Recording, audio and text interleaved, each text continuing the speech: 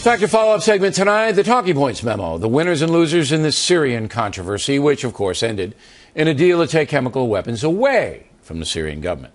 First of all, the tyrant Assad is a big winner. USA could have pulverized his military machine, but because of the so called compromise, the USA will not bomb him. Therefore, Assad remains in power, fighting the vicious civil war protected by Russia. And that country is the other big winner in the Syrian situation. Putin inserted himself as a compromiser, even though it is Putin who's supplying Assad with weapons and encouragement.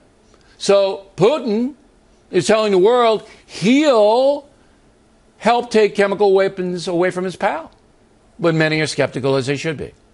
Nevertheless, Putin is a winner because he's calling the shots, so to speak.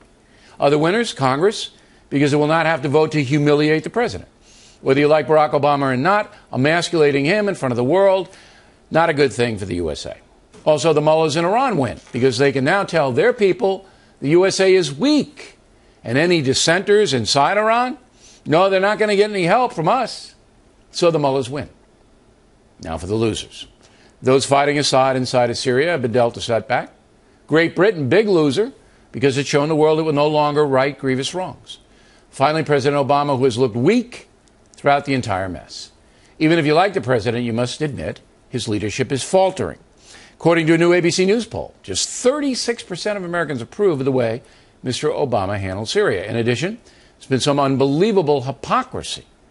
Congressman Keith Ellison, Washington Post writer Eugene Robinson, Senator Dick Durbin, Senator Barbara Mikulski, all object to drone warfare against Al Qaeda, but all support the president using military force against Assad. So let me get this straight.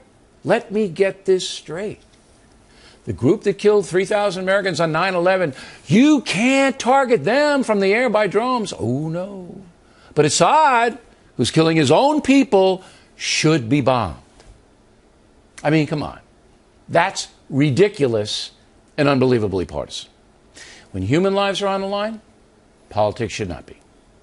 As Talking Points predicted last week, there will be no military strike against Assad, even if he doesn't give up all his gas. That story's over.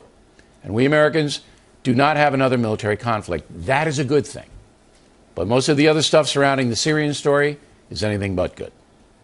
And that's a memo.